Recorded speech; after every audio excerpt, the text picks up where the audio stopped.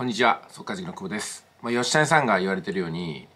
他人の給料のために、他人の生活の糧のために、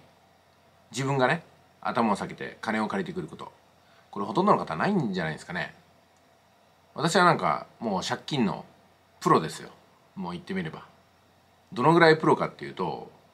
まあ、例えばですね、お金を稼ぐプロっていうのもいるじゃないですか。お金をね、こう儲けるのが得意な人。で逆にですね、ビジネスマンっていうのは、借りることもこ上手じゃないといけないんじゃないかなと思うんですよ。融資をいくらまで引き出してこれるか売上をいくらまで立てれるかこれ両方ともキャッシュフロー的にはキャッシュインっていう形ですから同じ行為なんですよね。お金を借りてこようがそれから稼いでこようが同じってことなんですよ。で借りたお金っていうのは元本返さなくても実はですねお金を貸した側からしても元本は全部借りたままで利息をちょろちょろちょろちょろ返した方がいいんですよ。ということはですよ1,000万というお金を借りて毎月10万を利息として返していくこの形でお互いに結構得なんですよね。貸した方も1,000万は手つかずでずっと10万ずつ入ってくるわけですから貸した方も得で借りる方も1,000万があれば10万円を100回払えるわけですよその間に体制を整えていくこともできるし1000万っていう現金があればねその現金っていう信用をもとに別の500万が借りれるわけなんですよ。こうやって二重三重に借金を繰り返していくことが可能になってくるんですよね。まあただし借金が尽きる前に稼ぐ手段にたどり着かないと大変なことになると。要するにデフォルトですよね。全員に対して返済ができなくなるってことになって、えー、まあ自己破産なりねなんなり、えー、待ってるということがありますけどもまあ腹がくくれてなきゃできませんねこれはね、うん、要するに借金返済がね見通しが立つか立たないかっていうのはお金を借りた瞬間にはないかもしれないんですよその見通しは。だけどもここでね1,000万ごときの借金ができずに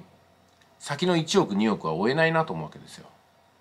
まあ、よく言われたことですけども情報商材30万50万するときにセールストークとしてね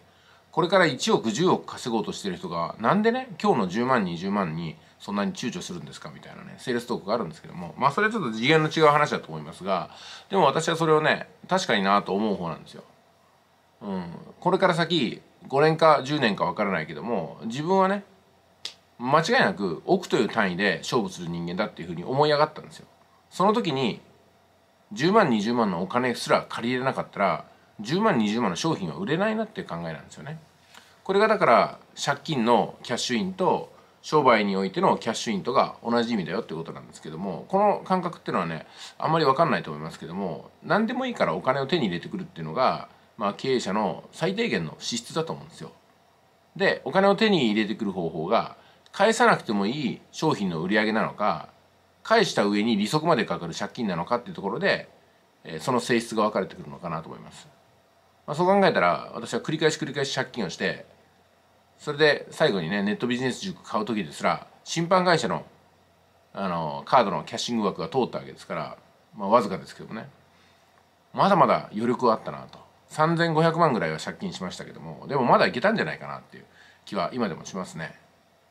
でそうなってくると今じゃあ1,000万とか2,000万の借金をすること？もうへでもないですねこんなの。しかも借金する可能性がないんで。それこそ今日この瞬間にねアウディの1,500万のローンを組みに行くことなんて朝飯前ちゃんちゃらほいですよ、うん、担保もありますしね。まあでも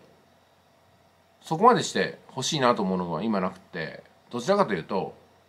買い物に行く時間を惜しんで家の中でね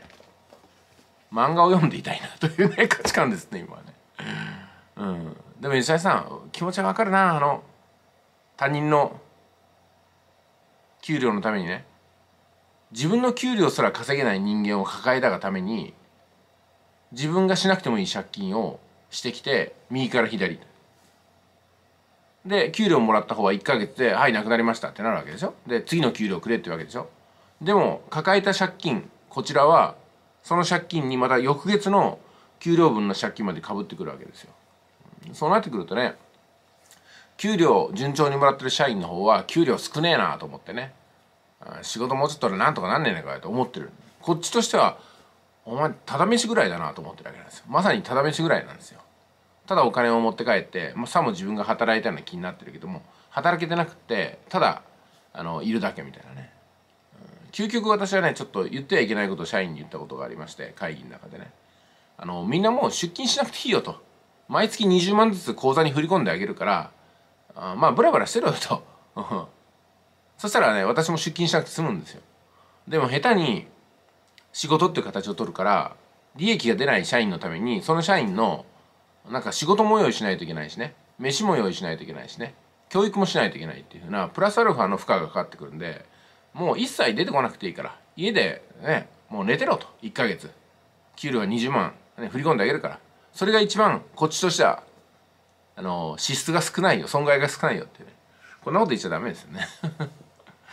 まあでもねそこまでね私も腐っていたかなと思いますね。今思えば、うん、やっぱりこう稼げない人をしっかりと抱えてあげないといけないかなと